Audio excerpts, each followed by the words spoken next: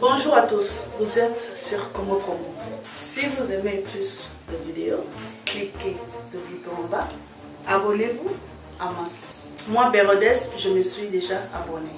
Il reste que Tu n'as pas dit respect aux journalistes. Sois reconnaissant. Nous t'avons façonné. Hier, tu étais commerçant. Aujourd'hui, tu es politicien. Ces passages-là, c'est l'effort que nous, journalistes, nous avons produit pour toi. Kosami, lelo batu balinge baye bazali nani. C'est un grand dictateur, Nambujimaï. Un grand dictateur. Ton mené investigation. Il intimide tout le monde en Nambujimaï. Kuna. Comme état de droit eza nango te akoma kobima toke kokanga bato bokanga yango information motu yango toke kokanga bato lobi na matonge bazosala montage ya son montage ya nini elezer azosenga ngoyika sanji 20 000 dollars biso moko nalingi boyeba yango pamba te force na biso c'est l'opinion nationale internationale. Son wana deja tozwi yango lobi tokangi bango. Bato ya ngoyika sanji. Bazomonte son. Mpona ezala pièce ya conviction. Ntango bakokende kosamba baloba te elezer asengaki 20 000 dollars. Congo promo defa te bolandaka congo promo mpo ezoloba vérité. Balobi avec congo promo it's not the same. C'est pas pareil. Rafi gendo check check Hugues la coiffe Icoté. Et enfin, je suis arrivé. Salon Hugues la coiffe Icoté. Non seulement c'est un salon de coiffure, mais aussi une machine de transformation des hommes et femmes. Regardez-moi comment je suis. Vilain. Mais attendez, deux minutes. Bogard. Vous allez voir.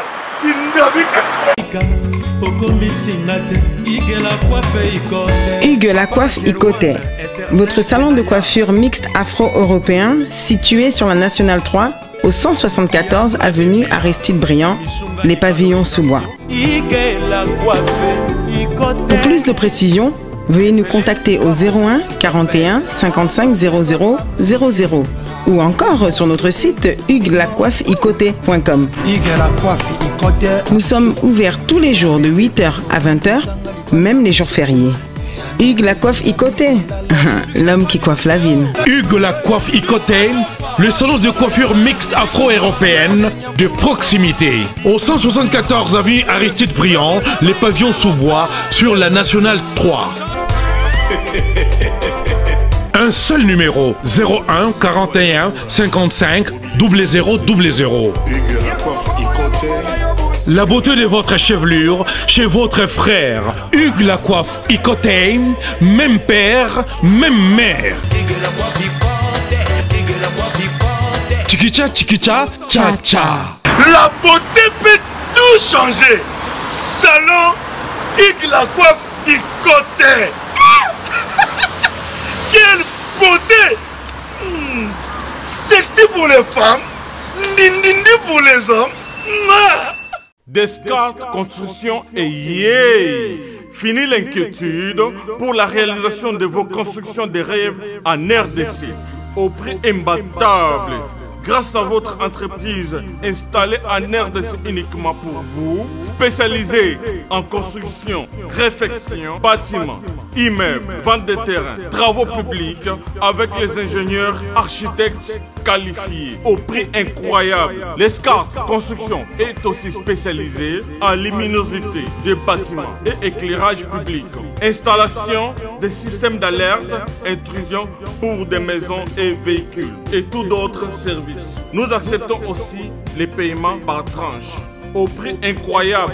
Pas d'hésitation avec Descartes Construction. Vous serez jamais déçus. Pour tout contact, notre email est descartesconstruction@gmail.com. Notre numéro de contact plus 447 93 92 82 813 et appelez-nous pour Kinshasa plus 243 89 91 56 86 2 Descartes Construction atoza na mbongo moke opération tongana RDC L'agence d'export et d'import Michel Atlantic Shipping. Eye bana ya Canada bana ya USA bomitungisa lisusu te. Pour tous vos achats et ventes voitures pièces de rechange et les accessoires possibles. Nakotinda bakoli na bino na kinshasa bomitungisa mpenza te. Plus bakoya kozwa koli ntina ndako. Pour tout contact benga michel lukadi plus 1 508 371 60 43 USA na Canada. Pour la Kinshasa, benga na plus 243 89 551 30 38. Michulu Atlantic Shipping, Yaboye, mm -mm, Bazu wapi? So, Raf félicitations pour la promotion, c'est la rapport. Que Dieu te bénisse. À connaît pas demander, il n'y a rien en face. congo promo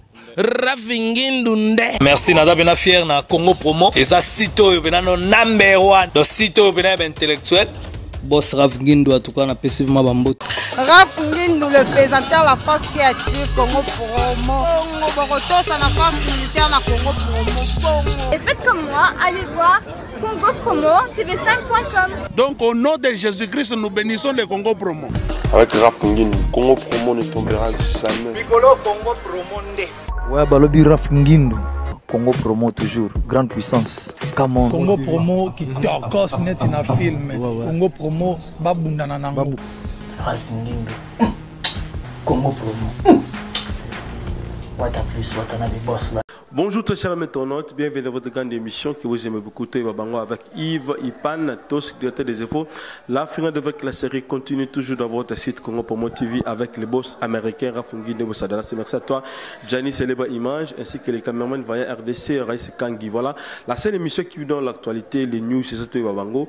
Voilà, nous étions là ensemble avec les amis journalistes pour mpona plutôt tobunda na likambo etali ndeko na biso eliezer bobi affaire oyo elekaki edérange mwa bato ebele mais ase neti moment toyebisa bino affaire ekomi un peu compliqué mais tozolinga tobunda bomoni bamarche esalemaki bomoni bapoint de presse esalemi bokomona so makambo mosusu nini tozokanisa mpo ke tosala mpona ndeko na biso tosauve image ya presse congolaise parce que lelo liberté d'expression ezalaka so te na baartiste plutôt na bajournaliste na biso ya mboka. Mais tokoluka kaka tobongisa parce que makambo oyo ezosenga mboka na biso il faut etelema na makambo ya boye. Voilà donc napesa bambote ebele na dominique ekelesa posa mosakata napesi mbote ebele vraiment na londres dominique ikelesa posa mosakata vie na nga e nabosani te le président claude ndoma silga nord azotala biso depuis londres. Et sans oublier jean mulumba unité centrale de bruxelles. Nabosani te kaba kaba ngotiku na l'échappée de genève.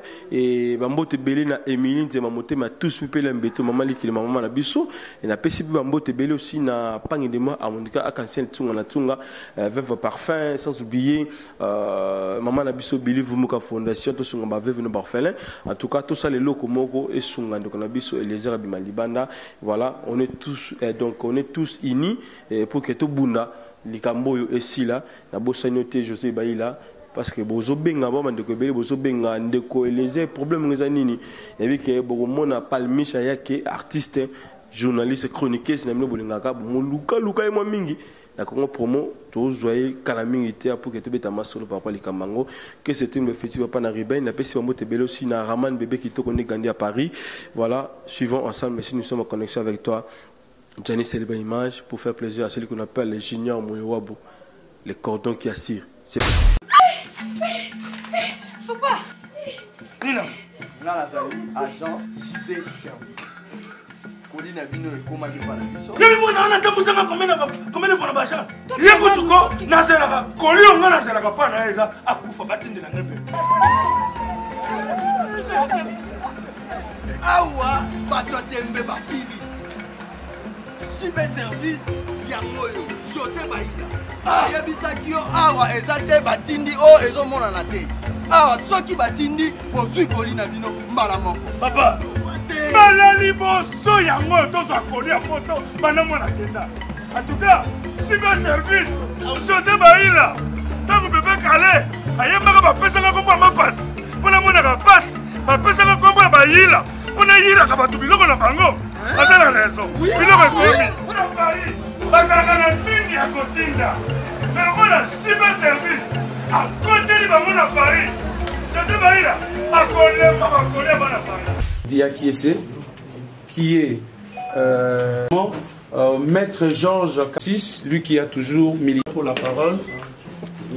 Euh, distingués confrères, distingués consoeurs, l'heure est grave.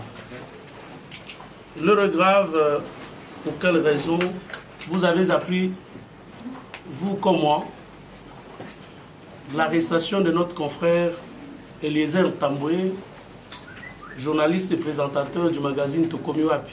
Où sommes-nous?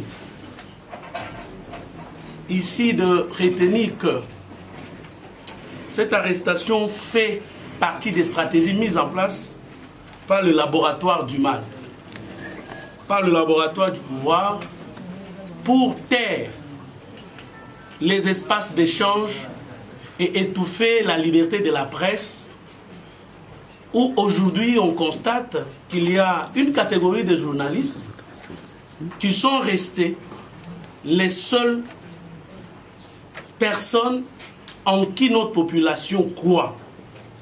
On sait que la classe politique congolaise, personne n'en fait plus confiance. Et cette stratégie vise à intimider les uns et les autres, à ne pas avoir ces espaces, à ne pas parler, à ne pas dire la vérité. Et certains noms ont exfiltré des services de renseignement où un après l'autre, ces journalistes seront arrêtés. S'ils ne sont pas arrêtés, on va leur jeter de pièges sur le plan de la justice pour qu'ils soient jetés en prison. Certains pourront être tués et d'autres on pourra organiser des assassinats ou exactement deux accidents. Ainsi, nous sommes appelés à nous souder les coudes. Et je vous appelle à la fable des porcs épiques. En Europe, il y a eu l'hiver le, plus difficile qui n'avait jamais existé. Et pendant cet hiver, tous les animaux mouraient. Et quand ils mouraient, les porcs épiques ont compris qu'il faille qu'ils se mettent ensemble pour partager la chaleur. Et quand ils se sont mis ensemble, les piquants des uns blessaient les autres. Alors, comme ça piquait, ça faisait mal, ça créait des petites blessures, ils se sont éloignés. Et quand ils se sont éloignés, on a commencé à ramasser un porc épic, un après l'autre, ils mouraient congelés seuls. Alors ils se sont dit non, non, autant que nous puissions nous blesser un peu, un peu, mais que nous puissions gagner en partage de la chaleur qui nous mettait en vie. Et ils sont rentrés ensemble. Je sais que parmi nous, il arrive que nous puissions nous blesser les uns et les autres. Mais pour l'instant, parce que l'heure est grave, nous sommes obligés d'unir nos efforts pour faire face à cette menace qui vise notre écrasement. Deuxième élément de ce point de presse, c'est le fait que cette arrestation de notre confrère et la plainte portée par M. Ngoï Kassanji vise à occulter les circonstances dans lesquelles le diamant a été stocké et la mort de propriétaire de ce diamant de 35 carats. C'est ainsi que nous invitons la justice, au lieu de s'acharner contre la presse qui a fait parvenir cette information à l'opinion, nous invitons la justice à approfondir ses enquêtes pour élucider les circonstances de l'extorsion de ce diamant et la disparition mystérieuse de son propriétaire. Sur ce, nous recommandons aux autres journalistes d'approfondir leurs enquêtes sur cette question. Parce que maintenant, après avoir manqué comment clouer Eliezer euh, au pilori, hier, certains laboratoires ont été surpris en train de faire un montage sonore qu'ils vont mettre, qu'ils vont imputer à Eliezer Tamboué. Et ce montage sonore sera bientôt là présenté par le plaignant, M. Ngoka Sanjou, pour dire que Eliezer Tamboué lui avait demandé de l'argent. Et nous condamnons ces montages amateurs qui visent à trouver des infractions sur la tête de notre confrère. Nous ne saurions terminer ces mots sans exprimer toute notre gratitude aux ONG de droits de l'homme qui nous ont accompagnés, principalement Maître Georges Kapiamba depuis plusieurs années, 20 ans bientôt. Il est toujours à nos côtés, il nous défend. Nous leur sommes très très reconnaissants. Et en laissant la parole à mon confrère Daniel Saf pour faire le résumé en lingala, nous allons également leur laisser la parole pour qu'ils puissent vous dire un mot, mais on ne sera pas terminé sans demander à l'Assemblée nationale de examiner et de voter. ndenge ndeko na ngai joel auti koloba na bongo mpona bokangami ya ndeko na biso eliezer. Akangami na likambo nini? Likambo ya mwasi te ayibi te abomi te afingi te akangami na nzela mosala na ye. Lokola nanu tozwi mbano te nde baloba na lokota ya français la dépénalisation des délits de presse journaliste akokangamaka kaka lokola boniama moto nyonso soki aza na mpate na atelemi na fundi ye bakangi ye. Na bamboka mosusu ezalaka lisusu te. Yambo tokanga journaliste esengeli olandela procédure. Pamba te tozali na bakonzi na biso oyo bakambaka biso. Na nzela mosala oyo. Awa natangi chilunde président inpc toza bongo na sesak na kotalisa bino mokanda oyo sesak akomelaki ndeko elezer esengelaki lelo. Amimonisa na baye bakambaka biso na mosalaki journaliste oyo. Tala ndeko ngoyika sanji abangi biso te atosi bakonzi na biso te akei bongo na maboko ya bazuzi ya leta. Me ezali na eloko oyo esengeli nabeta se te bandeko na ngai. Eza likambo ya nini? Eza likambo ya diamati bandeko bakolo diama bango baye epai eliezer azala moko ya molobeli na bango ayambi bango na nzela mosala na ye. Batalisi ete diama na bango. Oyo ndeko na bango esengelaki ateka yango na motuya bapesa ye mbongo ya moke. Ntango abandi kolandela makambo wana nde akokufa. Liwa na ye bamona yango na nzela malamu te. Bamoni ete ndeko eliezer azali moko ya mongongo ndenge balobaka na lokota ya français la voix de sans voix baleki na nzela na ye. Ndeko ngoyika sanji amoni ete akoki koetufe verité na kokanga ndeko eliezer ndeko na ye nayebisa bino verité oyo nazoloba lelo nazoloba yango mpo na gouvernement nazoloba yango mpo na présidence nazoloba yango pour toutes les institutions de la république. Nous journalistes congolais nous avons des réseaux puissants. Nous avons des réseaux très puissants. Ndenge bozalaka na toza na bato oyo baza libanda mboka ya makasi. Oyo babundelaka biso na ngongo nazolobela bino je sali le courage ya honorable cécile kienge. Na momo nazolobela bino je sali le courage ya paul sapu fdh na ngongo nazolobela bino je sali le courage ya batato baza pembeni na biso. Boyebi mosala kulutu na biso george kapiamba asalaka je sali le courage aza kaka avocat eliezer te botala elongi nde malamu. Akomi avocat na bino nyonso. Hervé congolais debout. Donc c'est pour dire que ngoyika sanja akosami lelo oyo bato balingi bayeba azali nani? C'est un grand dictateur na un grand dictateur.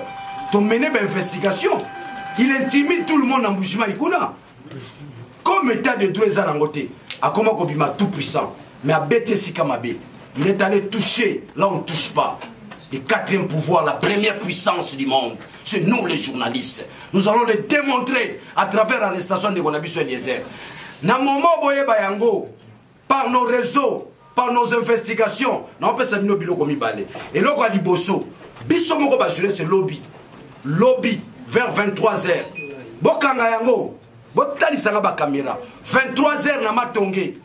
Toke kokanga bato.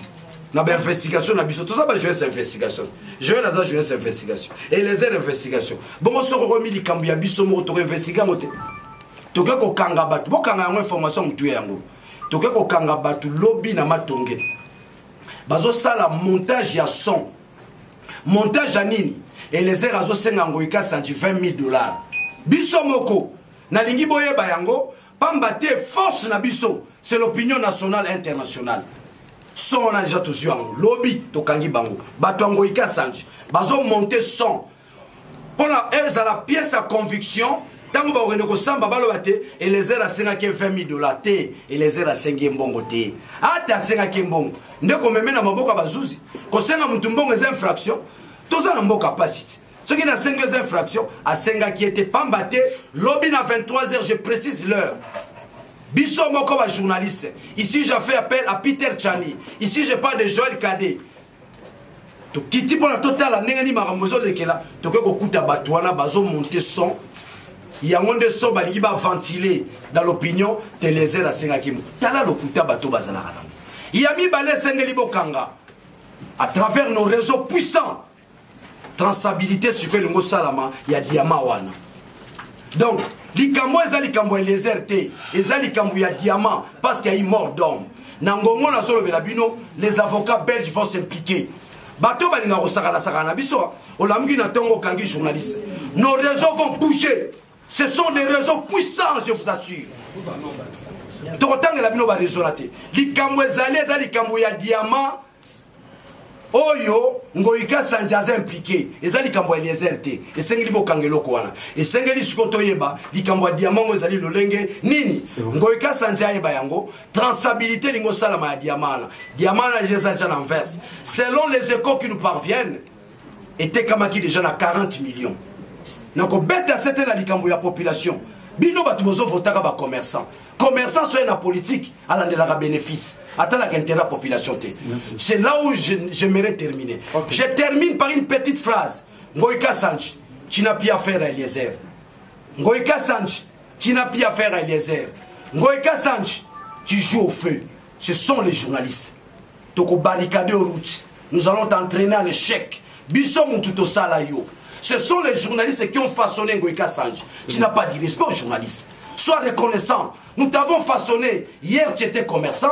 Aujourd'hui, tu es politicien. Ces passages-là, c'est l'effort que nous, journalistes, nous avons produit pour toi. Merci. Sois reconnaissant. Je vous remercie.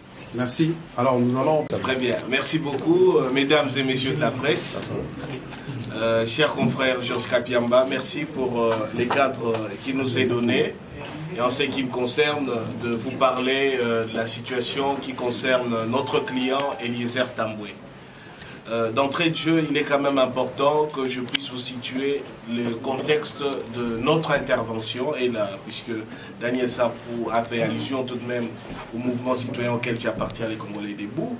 Euh, qu'il faille distinguer dans la nature de mon intervention, dans la mesure où quelques allusions ont été faites hein, sur euh, le fait que nous sommes intervenus et qu'il y a eu un appui en ce qui concerne notre intervention par l'initiateur du mouvement syndicat de Polo. Par après, je vais examiner avec vous euh, les aspects procéduraux et les enjeux euh, de, l'affaire Eliezer Tamboué. Le, le, mouvement citoyen congolais debout a à son sein des groupes d'action et d'intervention pour les cas de violations de droits de l'homme, pour les cas des, des, des victimes d'oppression et même des groupes de solidarité euh, dans lesquels nous intervenons, comme on l'a fait aussi lors de la répression du 31 décembre avec les cas d'Orcas Makaya et certains autres cas.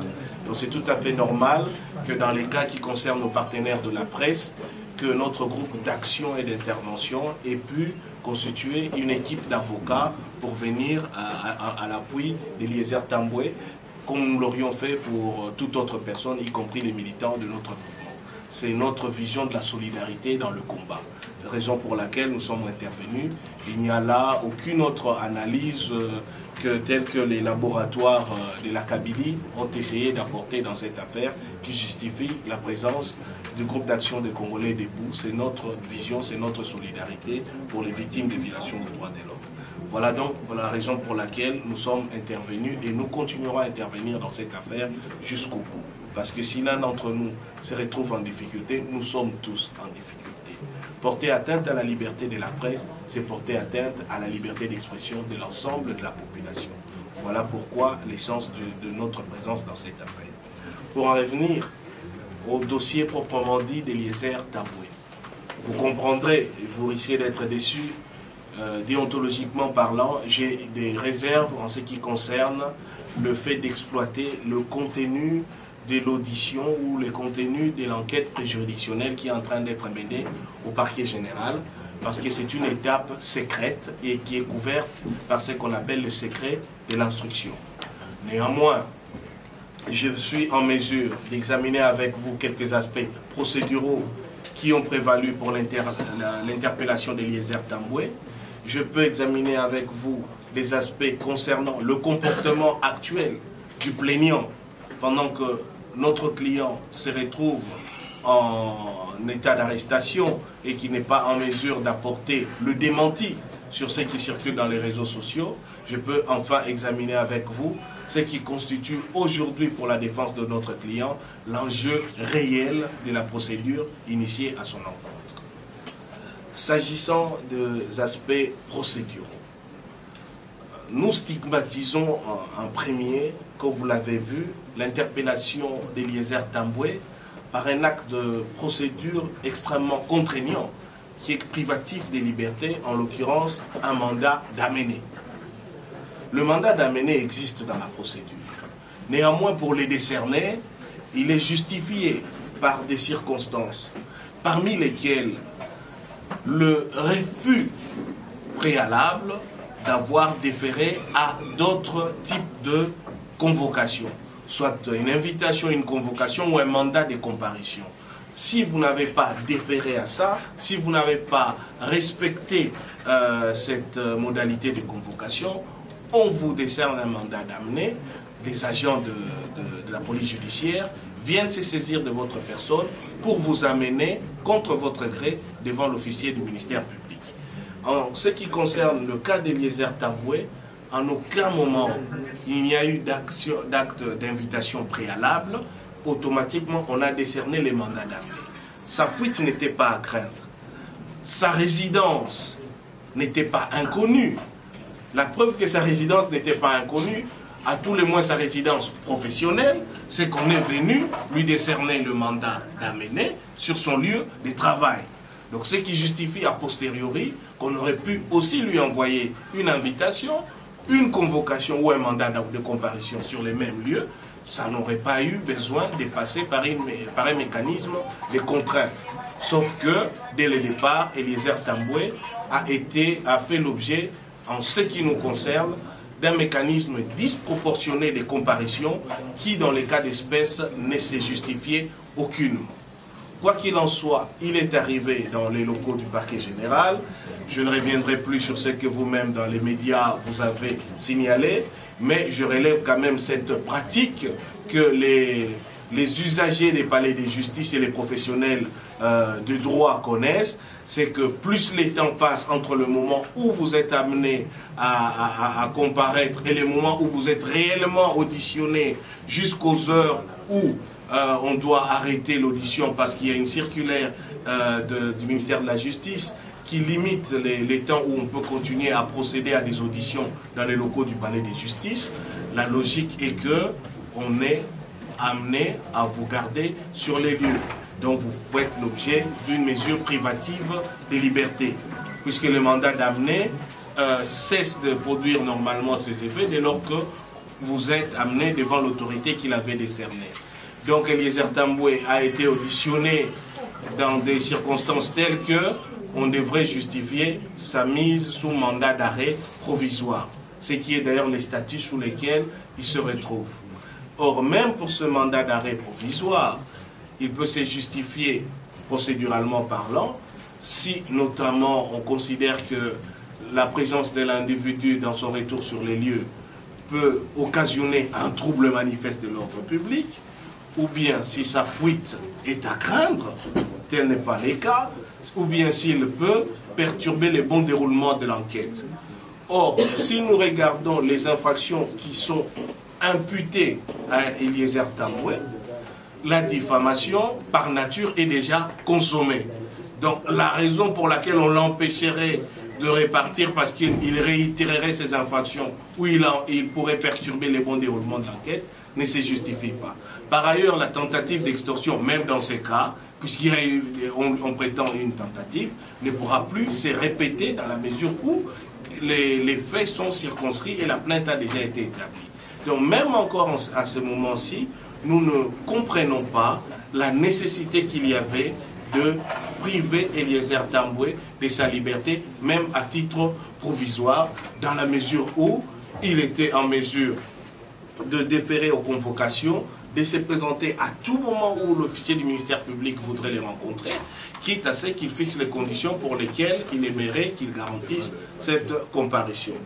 Donc nous avons aussi considéré que tout a été fait pour mettre Eliezer Tamboué dans une condition psychologique de, de faiblesse euh, pour qu'il se défende ou qu'il assure sa défense dans des circonstances où il n'est pas en état de se défendre correctement. Et donc, encore là, nous stigmatisons une procédure que nous considérons particulièrement coercitive, qui ne permette pas à une personne à qui est reconnu constitutionnellement le droit à la liberté. Parce qu'en matière de poursuite, la liberté c'est la règle, la détention c'est l'exception. Et on ne comprend pas la nécessité, après un mandat d'amener décerné dans ces conditions, de, les mettre sous mandat d'arrêt provisoire. À ce jour, une demande de mise en liberté provisoire a été introduite d'abord à, à l'office du procureur général.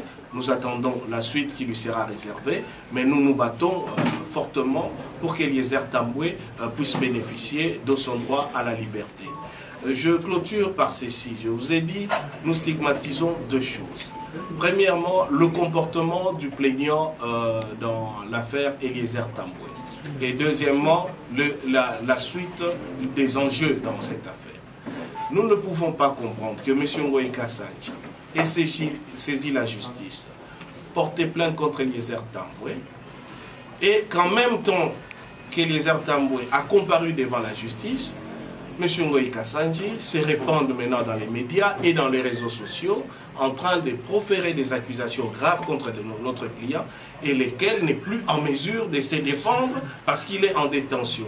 Si on saisit la justice, donc on a des plaintes, on va en justice et on est confronté à son adversaire.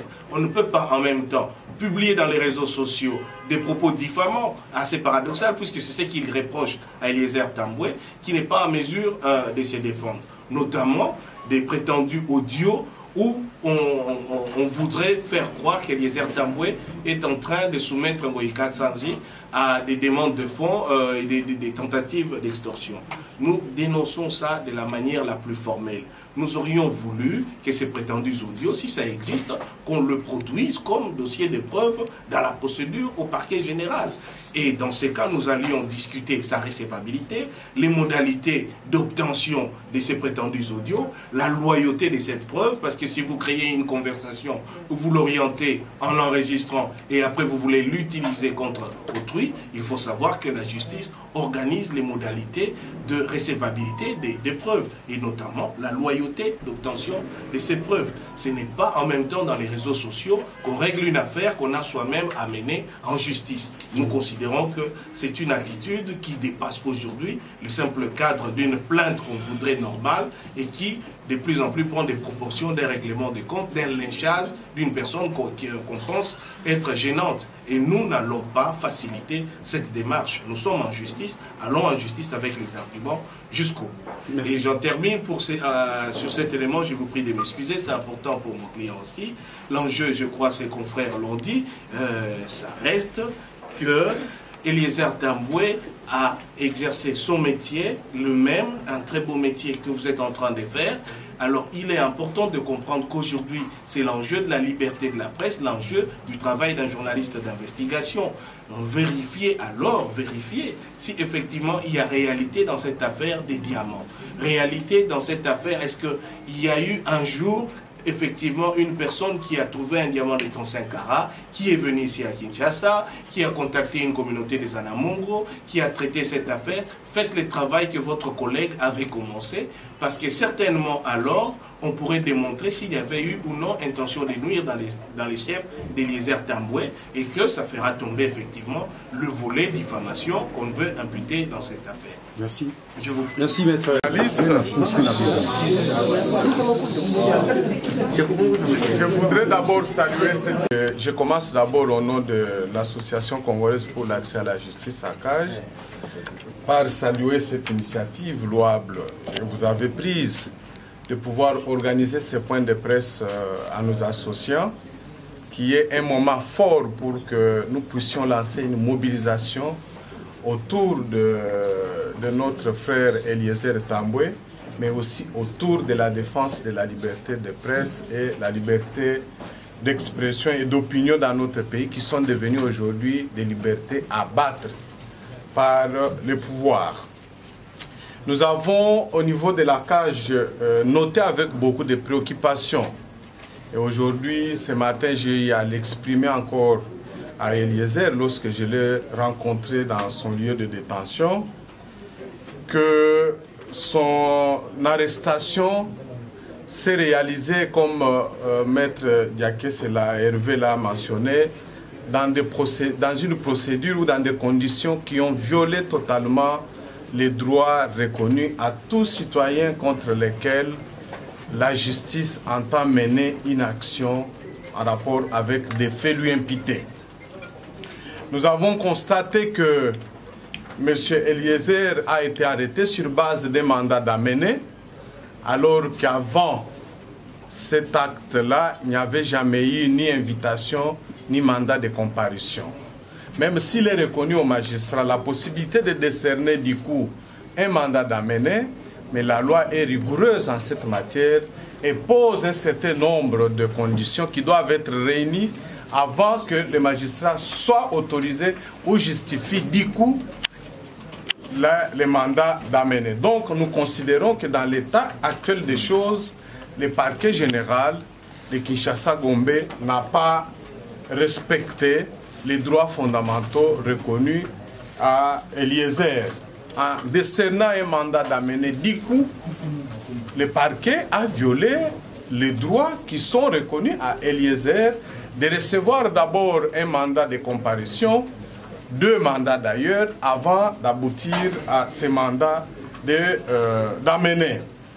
Nous constatons par là et nous concluons par là qu'il y avait déjà une intention, une décision, en réalité une décision politique prise dans la sphère du pouvoir afin de faire taire ces journalistes à cause de ses prises de position et son combat en tant que journaliste d'investigation. Et nous dénonçons cet état des choses. Ça doit cesser parce que nous avons constaté que ça se répète assez souvent lorsqu'il s'agit des dossiers qui concernent principalement les opposants, les journalistes et les membres de la société civile ou des membres des mouvements citoyens.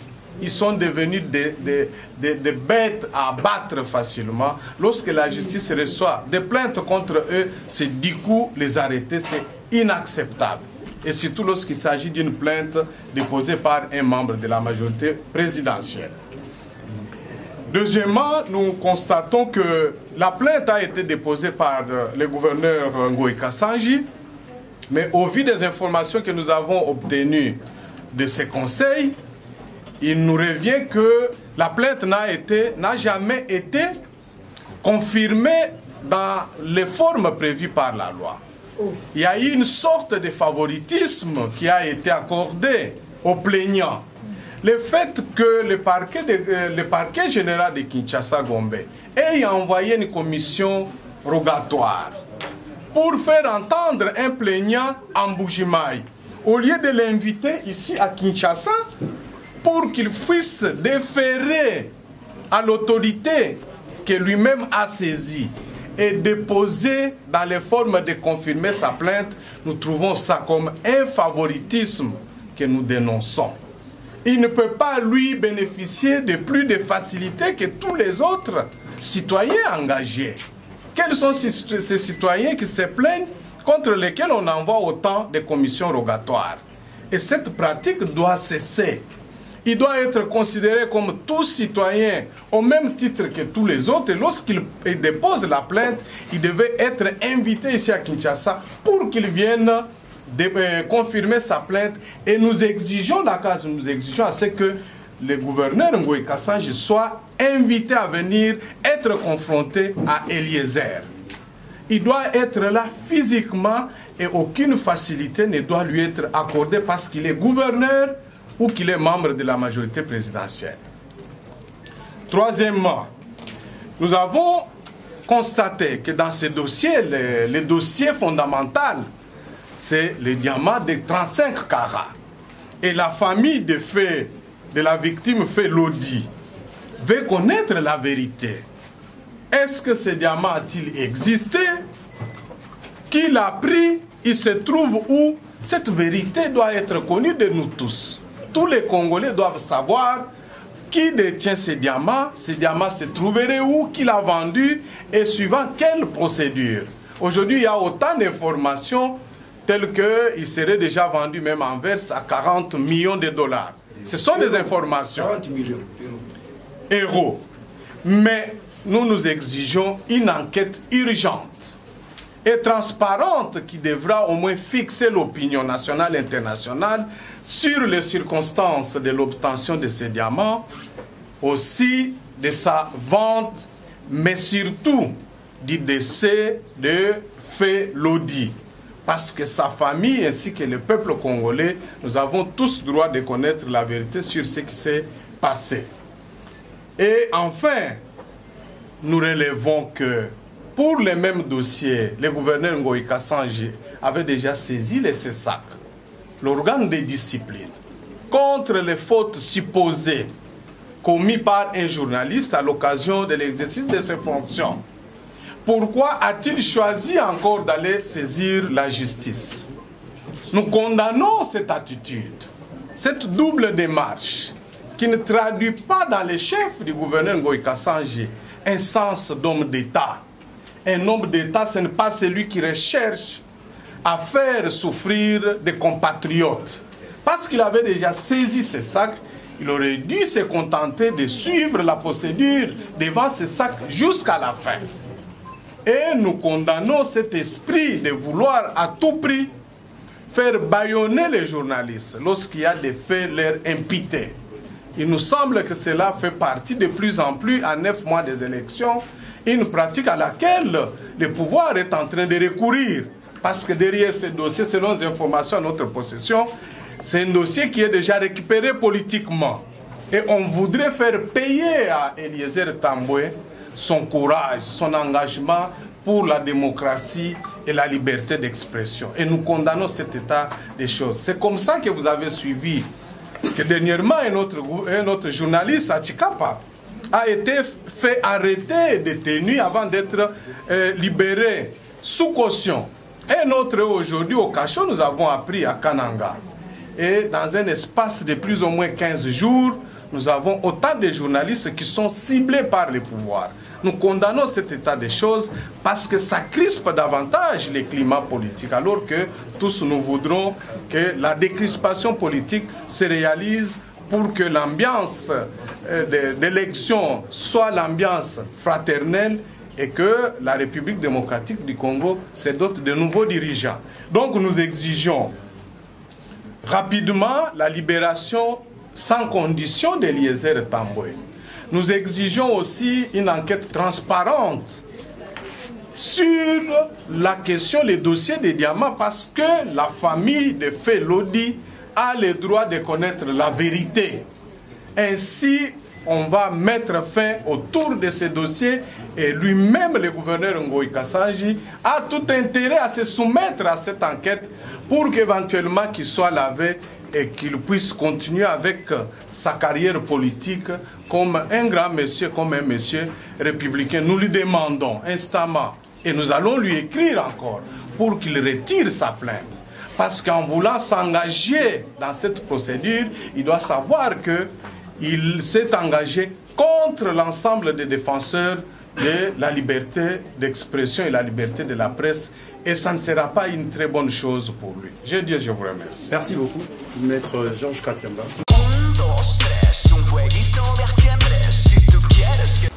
Bonjour à tous, vous êtes sur Congo Promo. Si vous aimez plus de vidéos, cliquez le bouton en bas, abonnez-vous à masse. Moi, Bérodès, je me suis déjà abonné. Il reste que vous.